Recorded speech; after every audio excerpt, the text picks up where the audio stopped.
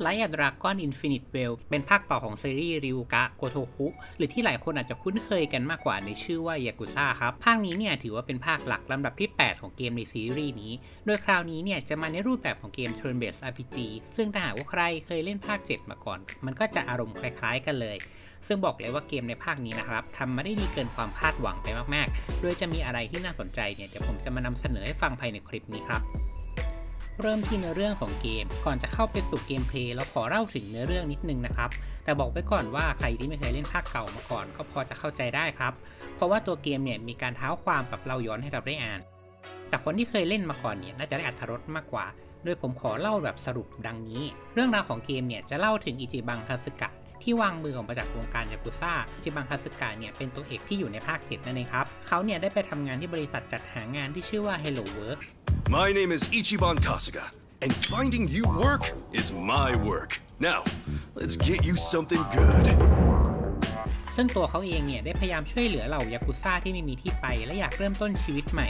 ซึ่งเรื่องราวชีวิตของเขาเนี่ยดูราบรื่นและเป็นไปได้ด้วยดีเลย ทั้งเรื่องงานแล้วก็เรื่องเพื่อนๆรวมไปถึงเรื่องความรักที่ก็เริ่มไปได้สวย แต่แล้ววันหนึ่งเนี่ยก็มีเหตุไม่คาดฝันเกิดขึ้นครับคาสึกะเนี่ยโดน VTuber ที่ชื่อทาทาระ Channel โจมตี โดยกล่าวว่าร้ายว่าตัวเขาเนี่ยได้ช่วยเหลือยากุซ่าเก่าทำเรื่องที่ผิด ส่งผลให้เขาเนี่ยต้องออกจากงาน แถมเรื่องความรักก็ดันสะดุดเพราะสาวที่แอบชอบเนี่ยดันไม่ยอมตอบอะไรเลยประกอบกับมีเหตุการณ์ไม่คาดคิดครับ คือคาสึกะเนี่ยได้รับข่าวสารของแม่ตัวเองที่ไม่เคยได้พบมาก่อน และได้ทราบมาว่าแม่ตอนนี้เนี่ยอยู่ที่ฮาวาย และเธอต้องการจะพบกับคาสึกะสักครั้งหนึ่ง ดังนั้นคาสึกะเนี่ยเลยตัดสินใจที่จะไปตามหาแม่ที่ฮาวาย พร้อมกับจดหมายของแม่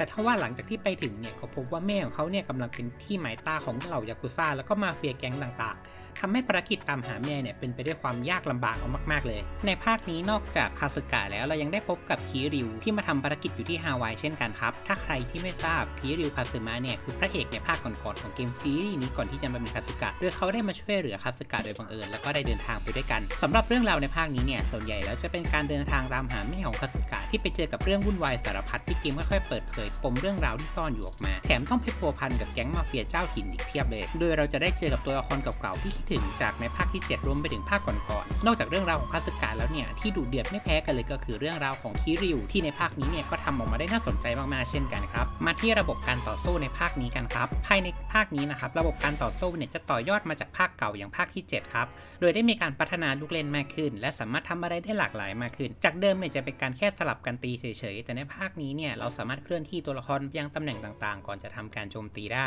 ซึ่งตำแหน่งของตัวละครก็จะมีผลอย่างมากกับการต่อสู้มากครับ เช่น หากโจมตีจากด้านหลังเนี่ยก็จะได้โบนัสพิเศษ หรือถ้าผลักโจมตีไปยังตำแหน่งที่เพื่อนอยู่ก็จะทำให้เพื่อนช่วยโจมตีได้ แม้แต่การโจมตีประสานหากอยู่ใกล้ๆเพื่อนก็ทำได้เช่นกัน พิเศษคือเราสามารถใช้สภาพแวดล้อมในการช่วยให้ได้เปรียบได้ครับ เช่น ถ้าหากว่าข้างๆเนี่ยเรามีสิ่งของอยู่ ตัวละครก็จะทำการหยิบสิ่งของมาโจมตี หรือถ้าหากเราโจมตีศัตรูกระเด็นชนกับกำแพง หรือสิ่งของอื่นเนี่ยก็จะทำ damage เพิ่มเติมได้ แม้กระทั่งหากศัตรูเนี่ยกระเด็นไปโดนพวกเดียวกันนี้ก็จะทำ damage เพิ่มได้ด้วย เรียกว่ามีลูกเล่นเยอะมากๆเลยในการต่อสู้สำหรับภาคนี้ นี่ยังไม่นับรวมระบบต่างๆนะครับที่ช่วยเหลือในการต่อสู้ไม่ว่าจะเป็นพราวมาสเตอร์ที่สามารถเชิญมาได้ด้วยเงิน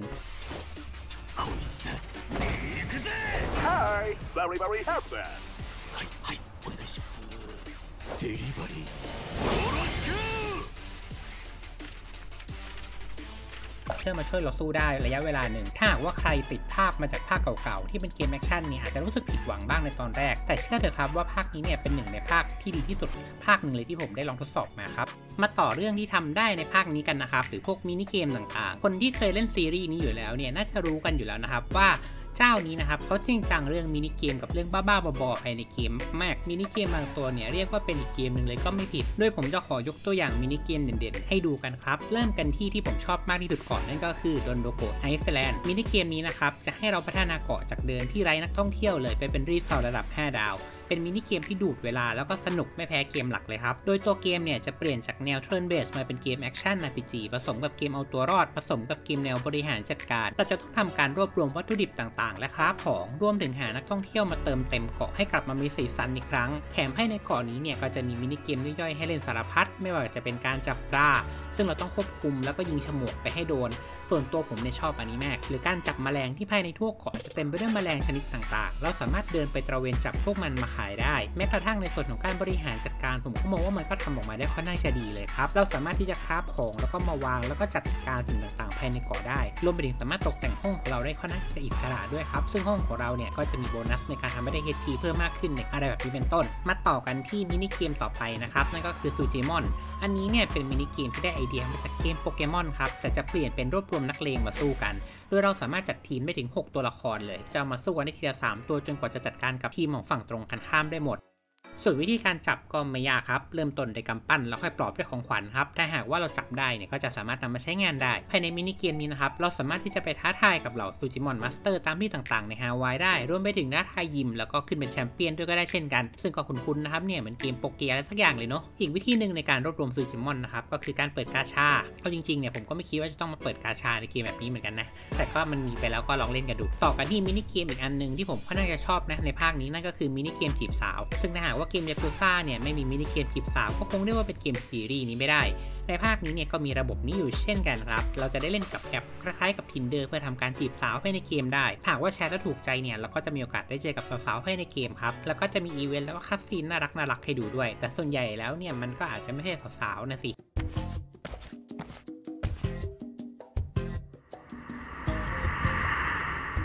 ก็ประมาณนี้นะครับสำหรับมินิเกมหลักๆ จริง ๆ แล้วยังมีข้อนั่งจะสารพัดนะครับไม่ว่าจะเป็นส่งของ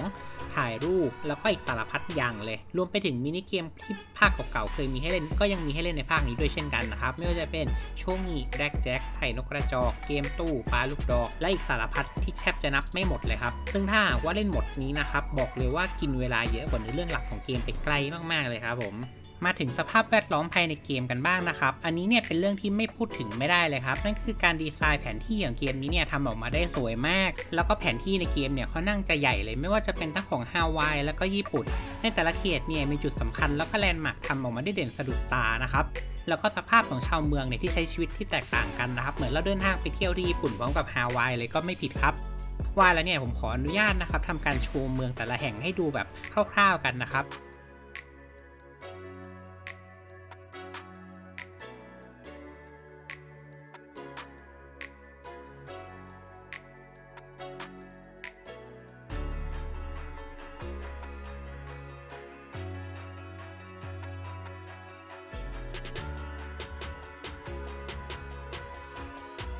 มาต่อที่ระบบอื่นกันนะครับ อีกระบบหนึ่งที่ผมมองว่าน่าสนใจมากเลยนั่นก็คือระบบอาชีพ เราสามารถเปลี่ยนอาชีพไปมาได้หลังจากเล่นเกมไประยะหนึ่งครับ โดยอาชีพพื้นฐานของแต่ละตัวเนี่ยก็จะมีอาชีพ ที่ล็อกเอาไว้นะครับ แต่ก็สามารถเปลี่ยนไปมาได้ในภายหลังอย่างเช่นอาชีพพื้นฐานของคาสุกะเนี่ยก็จะเป็นฮีโร่ที่ได้ที่ได้รับแรงบันดาลใจมาจาก Dragon Quest ซึ่ง skill ของเขาเนี่ยก็จะเป็นวิธีการช่วยเหลือพวกพ้องแล้วก็ buff ต่างๆ แต่ถ้าหากรู้สึกว่าการเป็นผู้กล้าเนี่ยมันยังเดือดไม่พอนะครับผมเกมนี้ก็ยังมีอาชีพอย่างพวกซามูไรที่มี skill หมู่แรงๆให้ได้ใช้งานกันนะครับอะไรอย่างนี้เป็นต้น จุดที่ผมชอบมากเลยก็คือการโยก skill ของอาชีพต่างๆเนี่ยย้ายไปย้ายมาได้ครับ แม้ว่ามันจะมีจำกัดก็ตาม แต่เราสามารถย้าย skill ที่ชอบของอาชีพหนึ่งไปยังอาชีพหนึ่งได้ โอเค เราพูดกันถึงเรื่องดีๆของเกมกันไปแทบจะหมดแล้วนะครับผมจริงๆก็มีหลายส่วนเล็กๆน้อยๆเนาะแต่ว่าผมมาขอพูดถึงเรื่องข้อเสียของเกมบ้าง โดยส่วนตัวแล้วเนี่ยผมก็นั่งให้คะแนนเป็นบวกกับเกมนี้มากเลยครับแต่ทีนี้เนี่ยเราพูดถึงรีวิวก็ต้องพูดถึงข้อเสียที่ผมเจอบ้างนะครับผม